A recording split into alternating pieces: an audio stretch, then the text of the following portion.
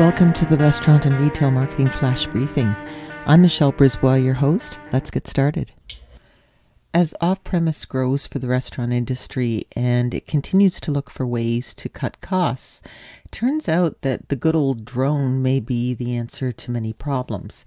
Uh, this is uh, announced in restaurantdive.com that Brinker International has expanded its partnership with drone delivery company Flytrex, and they're offering service in Granbury, Texas, outside of Dallas Fort Worth. Um, and the drones will offer five minute delivery of Brinker's brands, including two virtual brands. It's Just Wings and Maggiano's Italian Classics. And the meals are delivered to front and backyards.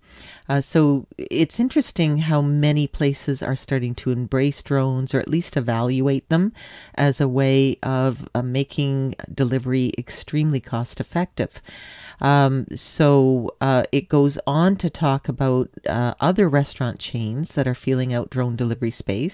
El Pollo Loco indicated a test with Flytrex last summer in uh, Southern California. McDonald's dabbled in the space with Uber in 2019. Starbucks and Domino's are also testing the service. Uh, drone deliveries are accelerating in retail. Tests from Walmart, Kroger, UPS, and Amazon. Uh, so it could be busy in the skies. Drones not only speed up those deliveries, Flytrex claims that its average delivery time is three minutes. Drones require less labor, makes the model cheaper, and a 2019 study found that automated delivery could reduce delivery costs by up to 90%. Uh, drone delivery can also open up delivery to underserved neighborhoods. So, very interesting. What would this do to some of these delivery services like Uber Eats and Skip the Dishes.